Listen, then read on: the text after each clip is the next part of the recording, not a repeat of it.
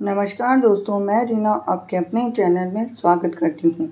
तो आज है पूर्णिमा का दिन, बहुत ही खास दिन है और पूर्णिमा के दिन भगवान सत्यनारायण भगवान की पूजा की की जाती हैं। तो सत्यनारायण भगवान की पूजा करने के दौरान कई महिलाएँ और कई पुरुष सत्यनारायण भगवान यानी पूर्णिमा का व्रत करते हैं। खास तौर पे अमावस्या और पूर्णिमा के व्रत का खास महत्व माना गया है क्योंकि ये पंद्रह महीने में दो बार पूर्णिमा और दो बार ही अमावस्या आती है। तो इस हिसाब से जो लोग पूर्णिमा का व्रत करते हैं, उन लोगों के मन में यह सवाल ज़रूर आता है कि हमें पूर्णिमा के व्रत में नमक का सेवन करना चाहिए या नहीं करना चाहिए। तो जो लोग व्रत में एक समय भोजन करते हैं, वह व्रत में नमक का प्रयोग कर सकते हैं, लेकिन जो लोग उपवास करते हैं, उनको नमक का सेवन नहीं करना चाहिए। और काफ़ी महिलाएँ ऐसे भी प्रश्न करती हैं कि मुझे काफ़ी कमेंट आते हैं कि हमारा बीपी लो होता है तो हम क्या सेंधा नमक का प्रयोग कर सकते हैं?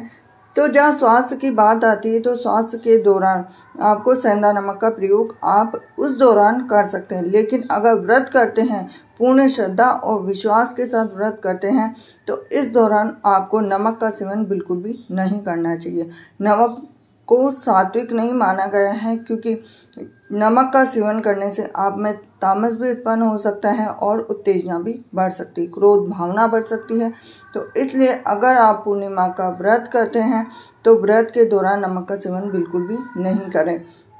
और कई महिलाएँ, कई पुरुष जो जो भी व्रत करते हैं तो व्रत के दौरान आप व्रत में खाई जाने वाली चीज़ों का सेवन करें और जो लोग उपवास करते हैं तो उपवास में खाई जाने वाली चीज़ों का सेवन करें। लेकिन नमक का सेवन बिल्कुल भी ना करें, उपवास करते हैं तो और एक समय भोजन करते हैं, प्रसाद खाते हैं तो आप व्रत के दौरान नमक का सेवन कर सकते हैं, जिसे कि सफ़ेद नमक कहते हैं और सेंधा नमक का प्रयोग उपवास के दौरान नहीं करना चाहिए।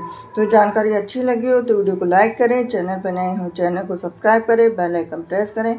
ऐसी ही जानकारी के लिए मेरे साथ बने रहिए। हरे कृष्णा।